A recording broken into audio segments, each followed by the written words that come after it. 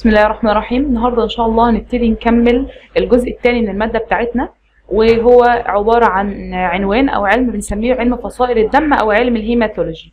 هنتكلم فيه عن أنواع فصائل الدم اللي موجودة في الجنس البشري وكمان هنتكلم إزاي بتتقسم لفصائل موجبة وفصائل سالبة.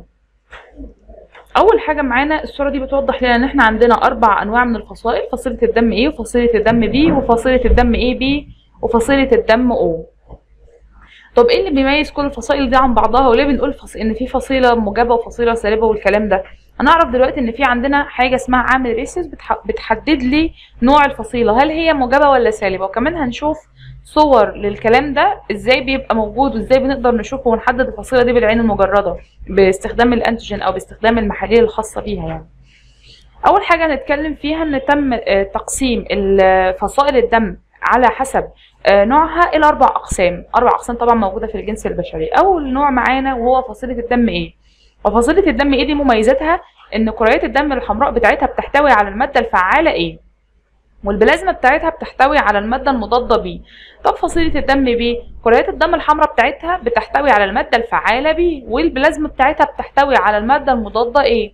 طب فصيلة الدم B وهي رقم 3 معانا بتحتوي كريات الدم الحمراء بتاعتها على المادة الفعالة B ولكن البلازما بتاعتها ما بتحتويش على أي مواد مضادة عشان كده الشخص اللي فصيلة الدم بتاعته B يقدر يستقبل أو ياخد دم أو يتنقل له دم من أي شخص ايا كانت فصيلته. ولكن هو ما يقدرش ينقل لأي فصيلة تانية لأن هو عنده في المادة بتاعته أو في الكريات الدم الحمراء بتاعته المادة الفعالة A والمادة الفعالة B فلا يقدر ينقل A لوحدها ولا يقدر ينقل بي لوحدها لأنه هيعمل تسمم للأشخاص اللي بينقل لهم دول. بعد كده عندنا الفصيله الرابعة وهي فصيلة الدم أو والفصيلة ديت ما بيكونش في كريات الدم الحمراء بتاعتها أي مواد فعالة والبلازما بتاعتها بتحتوي على المادة المضادة A B يعني هي تقدر تاخد من O بس لكن ما تقدرش تاخد من أي مادة من أي فصيلة تانية. وفصيلة الدم O تقدر تدي لأي فصيلة. وهنعرف دلوقتي إزاي بنحدد نوع الفصيلة ده. أول حاجة بنقول إن إحنا معانا عامل ريسيوس عامل ريسيوس. العامل ده عبارة عن المحدد لإيجابية أو سلبية الفصيلة أو نوعها. يعني نقدر نقول موجبة أو سالبة. عندنا حوالي 85% من الجنس البشري أو من البشر آه بيحتووا على عامل ريسيوس و15% بس بيحتووا لا يحتووا عفوا على عامل ريسيوس يعني إيه الكلام ده؟ يعني 85% من البشر عندهم الفصيلة بتكون موجبة. و15% بتكون سالبة لأن وجود عامل ريسيوس يعني الفصيلة موجبة وعدم وجود عامل ريسيوس يعني الفصيلة بتكون سالبة. طب عامل ريسيوس ده إيه فايدته أصلا؟ هو عبارة عن مادة بتسبب التلاصق وبتتنقل وراثيا يعني لو الأب مثلا موجب يبقى احتمال إن يكون الأبناء موجبين عادي مش لازم يكونوا سلبيين يعني وعادي ممكن يكون عنده أبناء سالبة ولكن بنسبة قليلة. آه وفقا لقوانين الوراثة والعوامل الوراثية السائدة زي ما قلنا فوق. 85% من البشر نوعه سائد يعني نوعه بيحتوي على عامل الريسيس يعني بيكون موجب و15% بس بيكون سالب لذلك ال 15% عامل متنحي. طب إيه هو الفرق بقى بين فصيلة الدم الموجبة وفصيلة الدم السالبة؟ في عندنا مادة تسمى المادة البروتينية بتكون موجودة لو ظهرت في الدم عندي بتكون الفصيلة موجبة لو هي لو ما ظهرتش في الدم عندي بتكون الفصيلة سالبة. وعندنا الفصائل الموجبة هي السائدة والفصائل السالبة بتكون نادرة جدا ومتنحية مش مش منتشرة كتير. 15% بس زي ما قلنا في السلايد اللي قبل دي اللي هنا دي.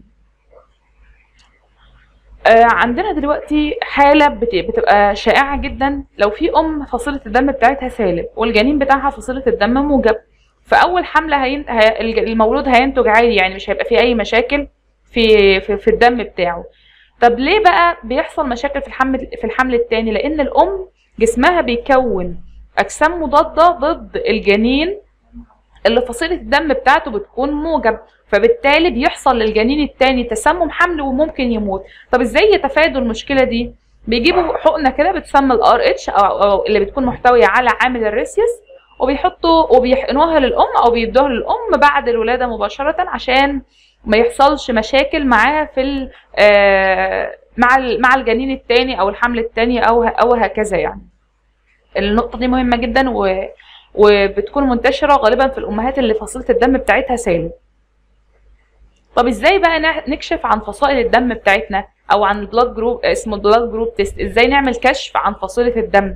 يعني أنا دلوقتي كل الكلام ده كنا بنشرح إزاي بنعرف ان فصيلة الدم الموجب وبنتكلم عنها والسالبة وبنتكلم عنها؟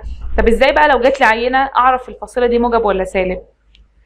ولا اعرف نوعها إيه؟ عندي في الأول حاجة لما باجي اسحب العينة بسحبها بطريقتين اما ان أنا اسحب من الشخص عادي من الوريد بتاعه واحطها في test tube أو في انبوبة بت- بتكون محتوية على مانع تجلط أو ان أنا اخدها نقط عادية يعني ان أنا يكون في جهاز صغير كده بيعمل بيعمل شكة بسيطة وبعد كده ناخدها على سلايد ناخد ثلاث نقط من الشخص أو أربعة على حسب ال- المعمل ده بيشتغل إزاي وبعد كده ن- نس... ن- نحط عليها الأنتيجين اللي إحنا هناخدها دلوقتي. يبقى إحنا إزاي بنعمل اختبار؟ أول حاجة بناخد من الشخص بطريقتين إما إن إحنا ناخد منه الدم مباشرة يعني ناخدها بثلاث نقط أو ثلاث قطرات أو إن إحنا نسحب منه آه، الدم من الوريد عادي ونحطها في انبوبه بتكون محتوية على الاديتا الاديتا ده بنسميه منع تجلط عشان لو الدم حصل له تجلط مش هنعرف نعمل له آه، الاختبار لأنه أصلا الاختبار معتمد على تجلط الدم. يعني إحنا بنوضح آه، فصيلة الدم عن طريق التجلط بتاعها. فلو هي أصلا جالنا متجلطه مش هنعرف نحدد. الصورة دي بتوضح معانا إزاي بنقدر نقيس أو بنشوف فصيلة الدم.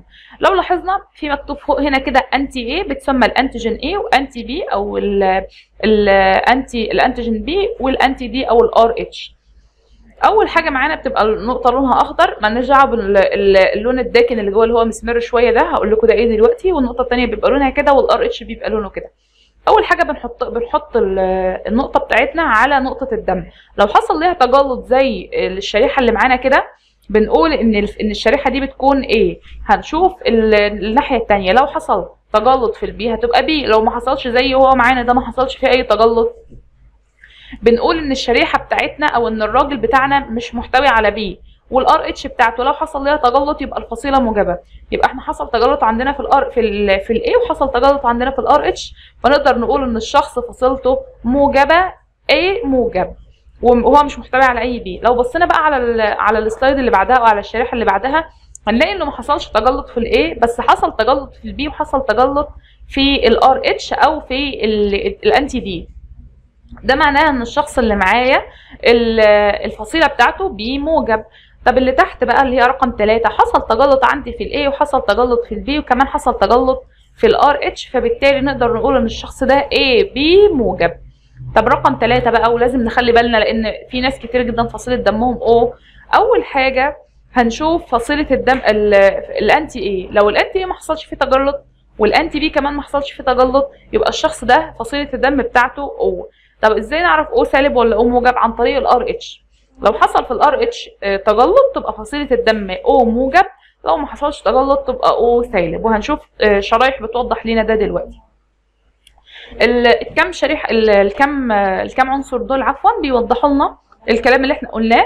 لو حصل تلازم أو تجلط عند المضاد A أو ال anti ال anti A بيكون فصيلة الدم A لو حصل تلازم أو تجلط عند ال anti B بيكون فصيلة الدم B لو حصل تلازم أو تجلط عند ال A وكمان عند ال B بتبقى الفصيلة AB لو لو ما حصلش أي تجلط لا عند ال A ولا عند ال B بتكون الفصيلة O ونفس الكلام مع ال RH لو حصل عندي تجلط في ال RH بتبقى فصيلة الدم آه، موجبة أو RH موجب. ولو ما حصلش أي تجلط أو أي تلازم بتبقى فصيلة الدم سالبة أو RH بتاعها بيكون سالب. الشريحة دي برضو بتوضح لنا إزاي كان آه، إزاي بيحصل التجلط بشكل أوضح من اللي قبلها. دي طبعا ال samples بتاعه الدم من غير ما يحطوا عليها أي حاجة هي كده العينات بس. أول واحدة معانا حصل تجلط في ال A بس وال B ما حصلش فيها حاجة وال RH حصل فيه تجلط فبالتالي الفصيلة اللي معانا A positive يعني الشخص ده فصيلة الدم بتاعته A موجب. تاني slide معانا ما حصلش تجلط في ال A لكن حصل تجلط في ال B وحصل تجلط في ال RH فالشخص اللي معانا فصيلة الدم بتاعته B موجب. الشريحة الثالثه حصل تجلط في ال A وحصل تجلط في ال B وحصل تجلط في ال RH فالشخص فصيلته AB موجب. آخر شريحة معانا وهي آه، ما حصلش تجلط في أي واحدة معانا. طب ده الكلام ده معناه إن الاختبار اللي أنا عملته غلط؟ لا ابدا. إحنا زي ما خدناها واحدة واحدة ما حصلش في ال A وما حصلش في ال B يعني الشخص فصيلة الدم بتاعته O طب ما حصلش كمان في ال RH يبقى فصيلة الدم بتاعته سالبة يعني هو O سالب. كده عرفنا إزاي بنوضح فصائل الدم. الشريحة دي برضو بتوضح لنا نفس الكلام حصل في ال A وال RH يبقى A positive حصل في ال A بس يبقى A آه negative حصل عندي في ال B وال B آه وال RH عفوا يبقى إيه يبقى B آه positive حصل في ال B بس وما حصلش في ال RH يبقى B negative حصل في الثلاثه يبقى AB positive حصل في ال A وفي ال B بس يبقى AB negative حصل عندي بس في ال RH تبقى O آه positive ما حصلش في ال RH تبقى O negative وبكده نكون خلصنا ال course بتاعنا وإن شاء الله نشوفكم على خير.